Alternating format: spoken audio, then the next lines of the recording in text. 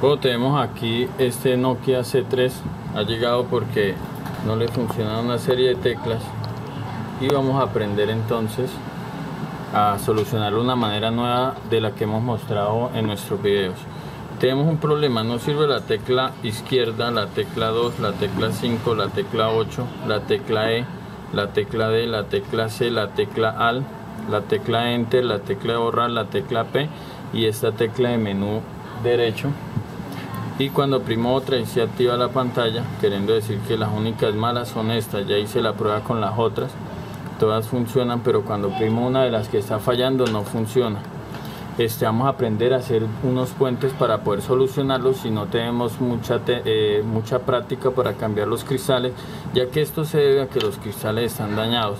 Sabiendo ya cuáles son las teclas y, y si son las mismas que estamos mostrando, entonces lo van a poder solucionar de la siguiente manera.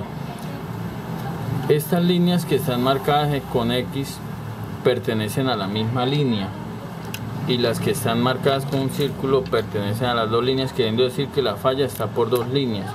Entonces, por eso tiene continuidad esta, esta, esta acá, esta y esta, y esta acá, y esta. Y la otra línea dañada, entonces esta, esta y esta. Y la vamos a aprender de la siguiente manera, pero primero les voy a mostrar por qué está fallando. Entonces aquí vemos los cristales cómo están por tal vez golpes en la maquinaria, vemos cómo está partido este, este cristal acá y este también. Cada línea pertenece a uno de los dos cristales.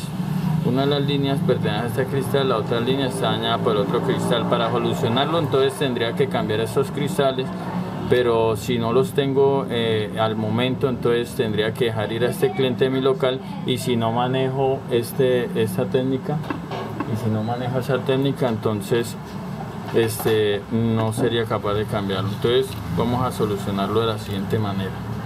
Aquí ya he hecho más o menos el plano cómo solucionaría y para solucionar entonces este, la línea que tiene que ver con la tecla derecha izquierda E D C. Esta línea de acá entonces lo voy a solucionar haciendo un puente desde la segunda línea de acá que estoy mirando a este punto que está acá a este punto que está acá sobre esta línea y así solucionaría ese aquí vamos a ver voy a raspar esta, este punto que está acá para poder soldar ahí un cablecito a donde ya mencioné y así solucionaría la primera línea que está fallando que son todas las líneas que están marcadas con la X. Si quiere retroceden el video y miran cuáles son las que están con la X.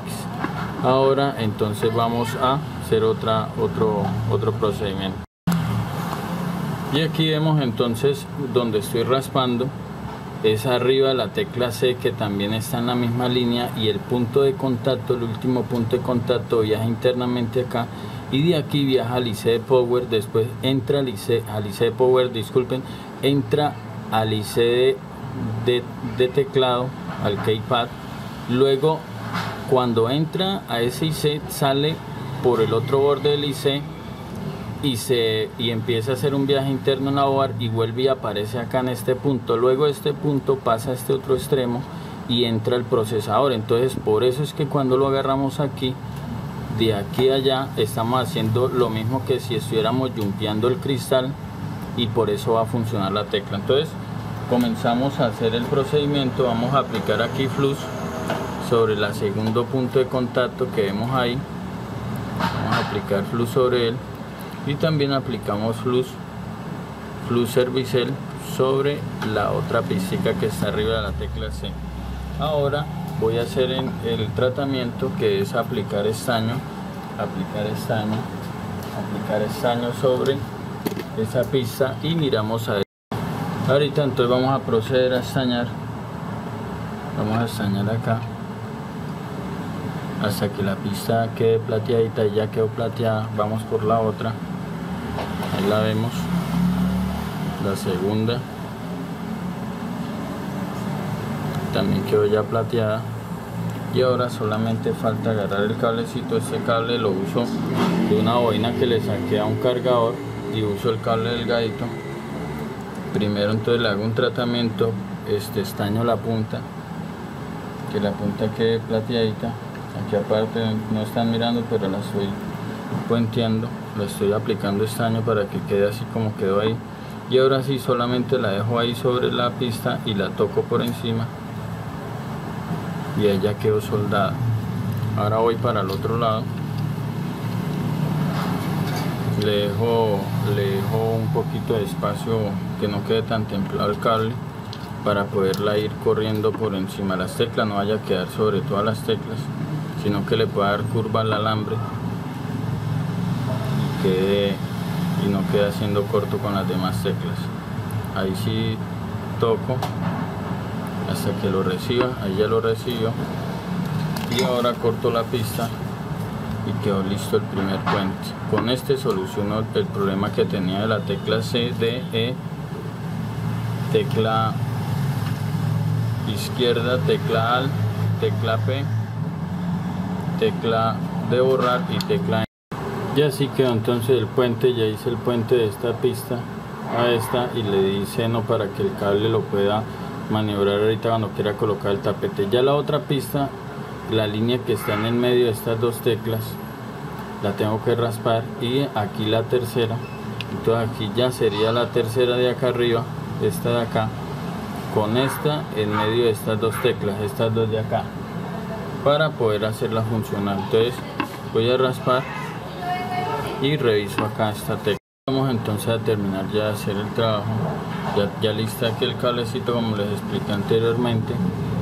Lo estaño en la punta para que solamente sea lo, lo pelo un poquito y lo, le aplico fluido y lo estaño para solamente tocar acá y que quede soldado. Y quedó soldado uno ya solo faltaría acá este otro sector.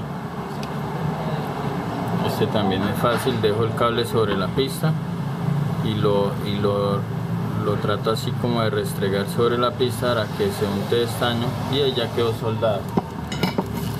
Según estos puentes y según mi este, mi experiencia con estos puentes ya tendría que tener solución si no me quedó ningún corto entre estas pistas. Sin embargo voy a limpiar y voy a revisar pero aquí ya tendría que tener solución. Vamos a armarlo y a bueno, ahí vemos ya el teléfono, ahora lo vamos a encender y vamos a ver que ya le dimos solución a ese problema. Aquí le vamos a dar a la tecla OK. Y vemos que ya pasó, que era una de las que no funcionaba, la tecla centro. Y que ahorita también la tecla, aquí que le falta la, la pulsación, la tecla AL de una desbloquea y vamos a oprimir entonces los, las letras. Aquí que no funcionaban la 2, la 1, la 2 que no funcionaba, la 5, la 0 que no funcionaba, la de borrar,